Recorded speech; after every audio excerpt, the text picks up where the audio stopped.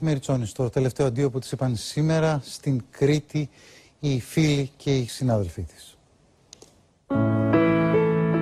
Συγκλονισμένοι συγγενείς και φίλοι είπαν το τελευταίο αντίο σήμερα το μεσημέρι στην 30χρονη ηθοποιό και τραγουδίστρια Μέρι Τσόνη. Η τελευταία παράσταση για την νεαρή κοπέλα έμελε να είναι η εξόδιος ακολουθία που τελέστηκε σήμερα στον ιερό ναό του Αγίου Ιωάννου Ελεήμονο στο ακροτήρι Χανίων.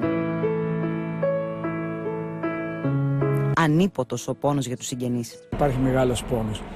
Χάσαμε ένα λουλούδι, χάσαμε μία μεγάλη καλλιτέχνη και μεγάλη ηθοποιό.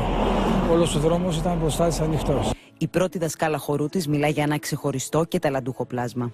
Ήταν ένα θεϊκό πλάσμα. Όπου το πηγαίναμε σε διαγωνισμούς έπαιρνε τα πρώτα βραβεία. Ήταν ένα πλάσμα που όλος ο κόσμος μιλούσε γι' αυτό. Αλλά και όλοι όσοι έχουν γνωρίσει τη Μεριτσόνη έχουν μόνο έναν καλό λόγο να πούν για το κορίτσι που έφυγε τόσο ξαφνικά. Ήταν ένα ξεχωριστό άτομο, χαρισματικό. Ευγενικό παιδί. Ένα πάρα πολύ ευαίσθητο παιδί. Δεν, δεν έχω λόγια να πάω. Η άτυχη κοπέλα αισθάνθηκε έντονη αδιαθεσία το βράδυ της περασμένης Δευτέρας και κάλεσε το ΕΚΑΠ. Όταν όμως το ασθενοφόρο έφτασε στο διαμέρισμά της στα Εξάρχεια, διαπιστώθηκε ότι ήταν ήδη νεκρή. Η Μεριτσόνη έγινε γνωστή στο ευρύ κοινό από τη συμμετοχή της στην ταινία Κοινόδοντας.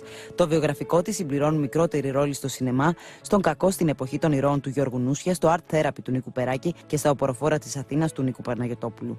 Μεγάλη της αγάπη το συγκρότημα Mary and the Boy, με το οποίο έκανε πολλές επιτυχίες.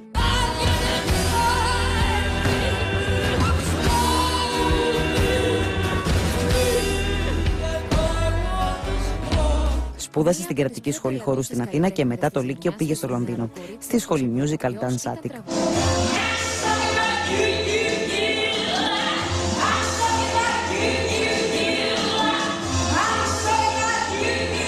Γεννήθηκε στην Αθήνα, στο Αλεξάνδρα, όπως δήλωνε σε συνεντεύξεις της.